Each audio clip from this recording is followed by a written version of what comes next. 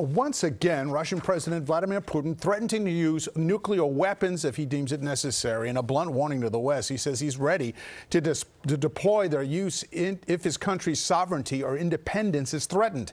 Now, this threat comes after a second straight day of apparent Ukrainian strikes within Russia, but Russia does not show any signs of giving up on its assault, restating that Ukraine will eventually need to accept a deal on Russian terms.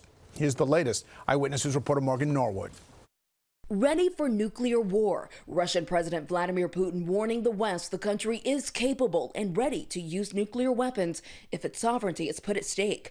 In a new interview on Russian state TV, Putin said he hoped the U.S. would refrain from actions that could trigger a nuclear conflict соответствующий план у них есть там. I don't think we're rushing to it, but we are prepared for this, Putin says. It comes as Ukraine launched a massive drone attack on Russian infrastructure overnight, one of the biggest single attacks of its kind since the war began. With more than 60 drones, the Russian Defense Ministry says 58 drones were shot down. This is the second night in a row oil facilities have been hit. One refinery here seen on fire.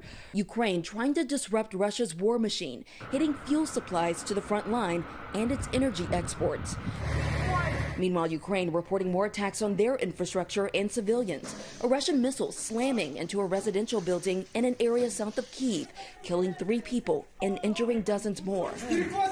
All of this ahead of Russia's presidential election this weekend. Since Putin changed the constitution, he can technically remain in power till 2036. The result is fairly certain, especially since major opposition figures are either in prison, exile, or dead. One of the most prominent, Alexei Navalny, whose funeral earlier this month drew thousands of people. And in that interview, Putin also mentioned that he'd be willing to negotiate with Ukraine, but implied that it would need to be on Russia's terms.